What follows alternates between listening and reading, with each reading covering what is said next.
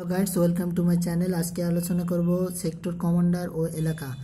এক নম্বর সেক্টরে দায়িত্বপ্রাপ্ত মেজর জিয়াউর রহমান ও মেজর রফিকুল ইসলাম। দায়িত্ব সময়কাল মেজর জিয়াউর রহমানের এপ্রিল থেকে জুন পর্যন্ত আর মেজর রফিকুল ইসলামের জুন থেকে ডিসেম্বর পর্যন্ত এলাকা। চট্টগ্রাম, পার্বত্য চট্টগ্রাম এবং নোয়াখালী জেলার মোহরী নদীর পূর্ব অংশের সমগ্র এলাকা। সদর দপ্তর হরিণা, ত্রিপুর, ভারত, দুই নম্বর sector.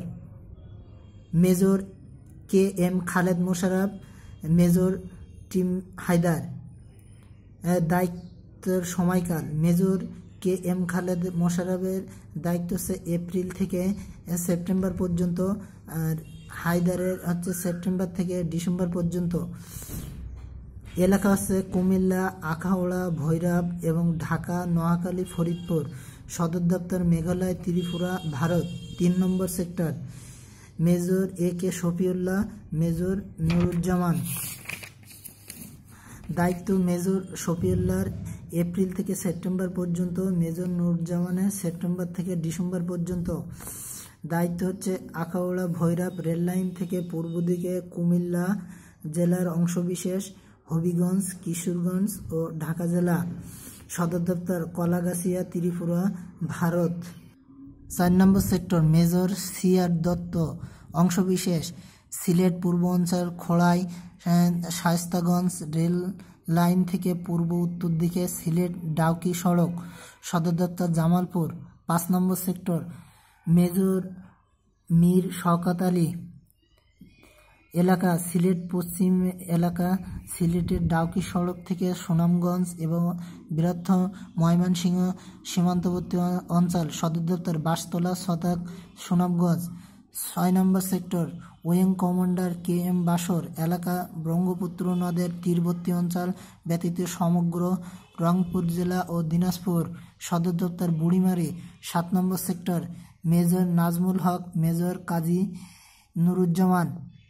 এলাকা রাজশাহী, ঠাকুরগাঁ ও দিনাজপুর অবশিষ্ট অংশ এবং ব্রহ্মপুত্র নদের তীরবর্তী এলাকা ব্যতীত সমগ্র বগুড়া ও পাবনা জেলা সদর দপ্তর বালুরঘাট, পশ্চিমবঙ্গ, ভারত।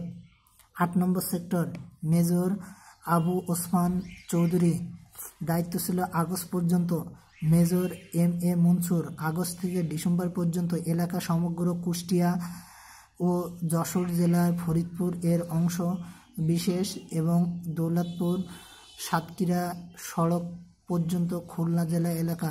সদর দপ্তর বেনাপোল, যশোর। নয় নম্বর sector, major Abdul Jalil, December পর্যন্ত দায়িত্ব। মেজর এম এ মঞ্চুর অতিরিক্ত দায়িত্ব। এলাকা দৌলতপুর, সাতক্ষীরা সড়ক পর্যন্ত খুলনা জেলা, সমগ্র দক্ষিণ অঞ্চল এবং বৃহত্তম বরিশাল ও পটুয়াখালী জেলা। সদর দপ্তর হাসানাবাদ, বাগেরহাট, দশ নম্বর সেক্টর। পাকিস্তানের নৌবাহিনীর আটজন বাঙালি কর্মকর্তা।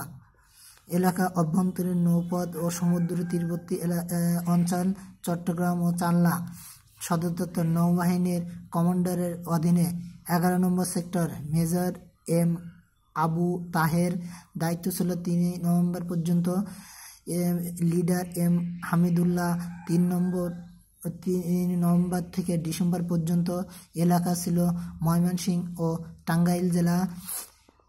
সদর দপ্তর হল মহেন্দ্রগঞ্জ আশ্রম, ভারত।